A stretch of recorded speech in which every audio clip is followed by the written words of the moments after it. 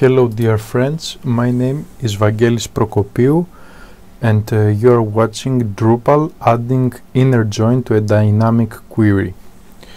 So we will uh, talk about this subject for a little, uh, for a few minutes. Uh, I have set up some code and some uh, a test uh, site. Here is our test site with this route which returns us the existing users of this site in JSON. The code that uh, we are executing is this one. I have uh, created uh, a custom module which I named or condition uh, and wh what we are interested in is this uh, code that is executed when we visit this route. So what would do we do here? As we can see, we are uh, getting all the available users of this specific site with this query, this dynamic query, and uh, we return it to the front end. Uh, this is a very straightforward dynamic query, but uh, let's say that uh, we wanted to add another field to this query for, exam for example, the user's email. Right now we are only displaying the user ID, as we can see here. The user ID for all our users.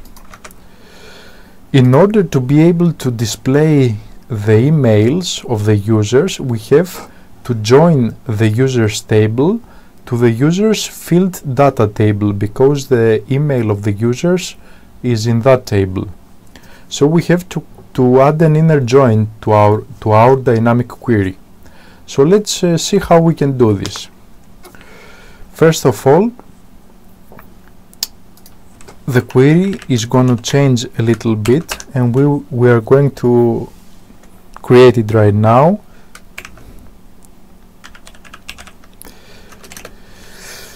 Uh, we will start the query by selecting the first uh, table. We will end this statement here and we have to continue building the query. It will be a little different than it was before. Here we will add our inner join to the table that we are interested in. For now I will comment comment out this code. We will add uh, an inner join as we said to the users field data uh, table. Users field data table. And uh, we will give an uh, alias to this uh, table. For example let's call it UFD user field data. And then we must provide uh, the, condi the condition on which uh, this join is going to happen. So we will say that the users the users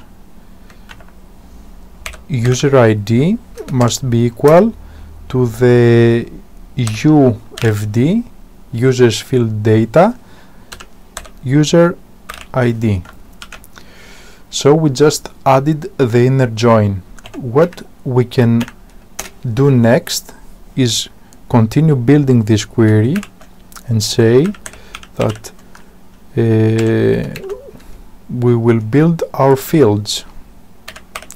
What fields do we want? As we said we want the existing field which was the user's UUID UUID sorry not like this but in an array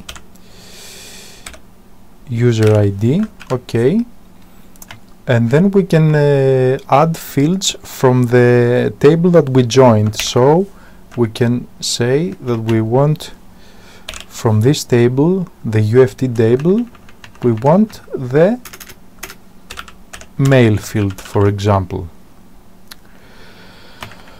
So our query is now built. All we have to do is now execute the query and fetch the results. So we can say that our users will be equal to the query which we will execute and then fetch all the results and then all we have to do is return the users as we did before. So let's go to the front end and see if we uh, managed to do what we wanted. If we refresh as you can see we just got all the users with their emails. So it seems that our code is working this is our code.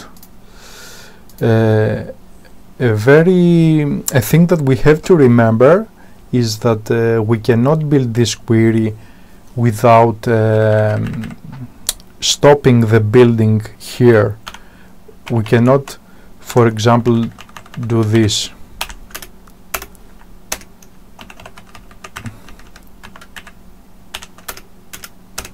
And so on and so forth. This will not work because uh, the query is not returned after the inner join we have to stop the building and then continue with the fields and uh, the conditions that uh, we may also want to add to this query.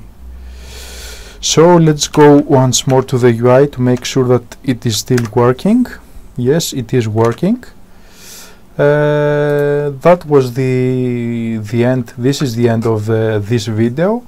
I hope that uh, you will find this video useful useful in the future uh, when you try to build your dynamic queries. Uh, I want to also thank you for watching this video. Maybe you you could uh, consider subscribing to the channel if you find these videos useful. Useful. So that was all. Uh, thank you for watching the video and have a great day.